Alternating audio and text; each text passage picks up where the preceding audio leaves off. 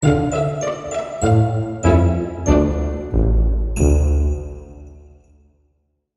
everybody and welcome back. Thank you very much for joining me today.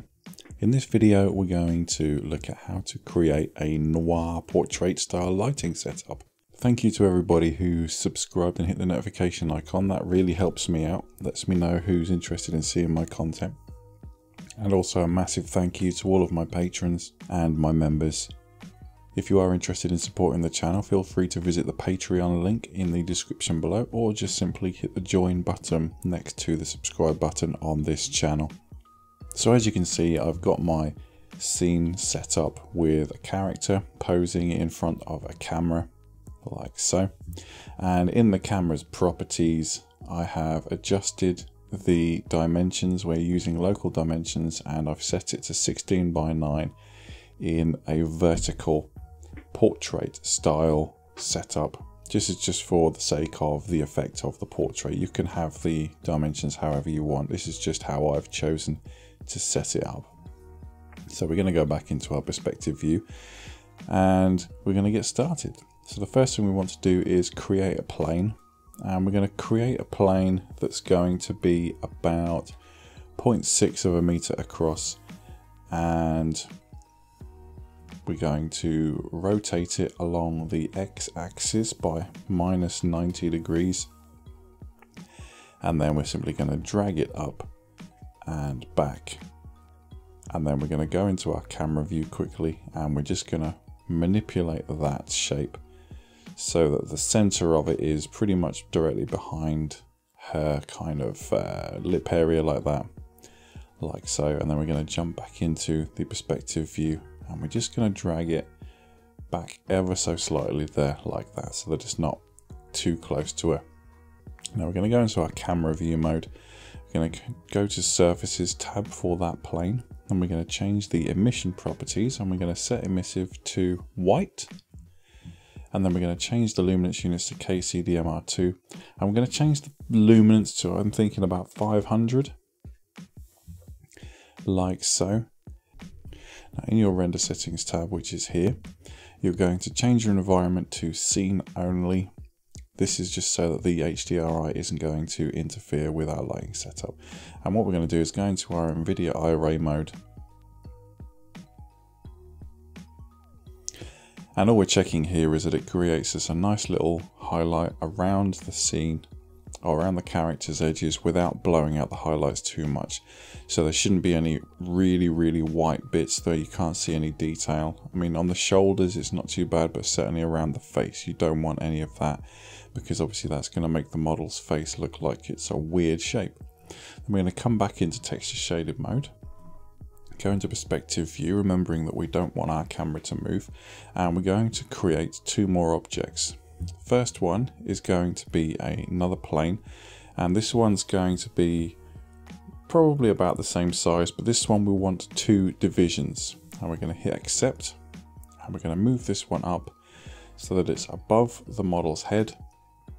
And then we're going to rotate it along the x-axis in the positive direction so that it's creating there like that so that it's almost directly pointing towards the camera the character. Now we're going to go into our camera and we're just going to change the Y translate of that so that it's not in view of the shot, but only just slightly so. It's, it's close, but it's not in the shot. Jumping back into our perspective view, and now we're going to change by clicking on this ball here. We're going to click and change to wire texture shaded like so, so that we can see the divisions on that object. Now we're going to go into our geometry editor tool, which is this checkerboard with a pencil hovering over it. And we're going to check that we've got our plane selected. Then we're going to right click and we're going to check that our selection type is polygon and our selection mode should be drag. And all we're going to do is select the bottom left hand polygon. We're going to right click and we're going to delete selected polygons and we're going to say yes. And that leaves us with this kind of shape. Now the positioning of the last object is the, is the fiddly bit. This is the bit that makes all of the difference in the portrait.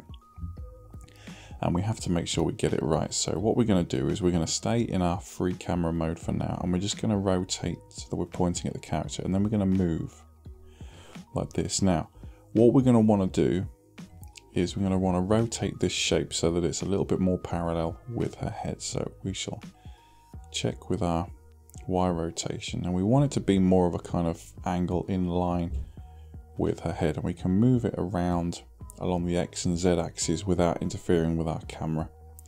And we want to do that so that when we get our camera into position, we're kind of covering her forehead and half of her eye like so. That should be about it. So this is more or less what you should be seeing. The next thing you want to do is click on this object up here next to the create primitives icon. There's a create null icon.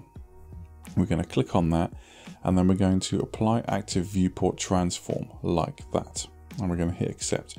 And what that's done is it's created a null where the camera was so that we've sort of marked the position where we were. Now what we're going to do is we're going to create that second primitive like that. And this one's going to be about point, I want to say 0.1 meters, so 10 centimeters across.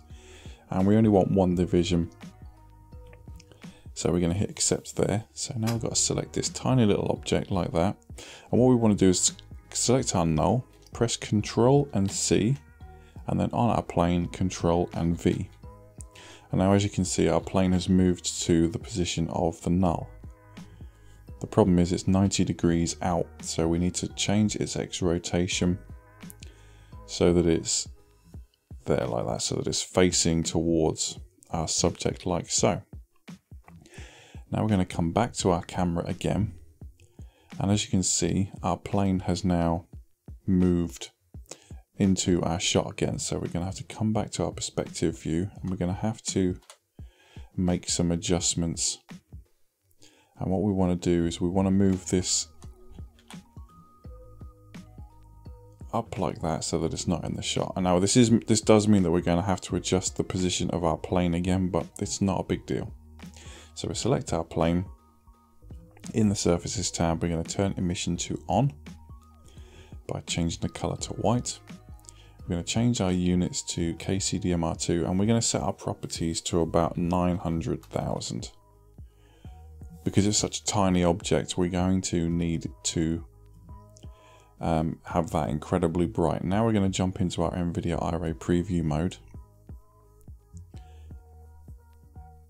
There we go, like that. And now we can adjust the position of our plane in the parameters tab. The first thing we want to do is change the Y position. And do that very gradually. Until you can see the shadow starting to creep into the shot. So we're almost in the right place. We want it to kind of just about be above the eyelashes. And now we want to move it in the positive direction along the x-axis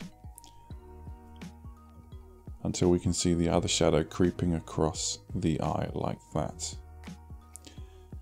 And then we'll have to tweak it a little bit more so we'll move it back down in the y direction and across. There you go. So you can see the shadow is now creeping into the shot so we can tweak the position ever so slightly until we get the effect that we're after like so. And I'm going to move that again across a little bit more so that we can see some of that eye, which means moving up in the y-axis again. Like that. And then we can simply render that out and there's our portrait setup. So if we come back into our texture shaded mode and we look at our perspective view, you can see all of the objects here. We've got our light background, our shadow creator, and then oh, all the way up here is our little light source. And as you can see, we didn't have to move too far from where our camera position was. It's pretty much still more or less where it was. And that's all there is to it. I hope you found that useful. Let me know what you think in the comments below, and I'll see you in the next one. Bye bye.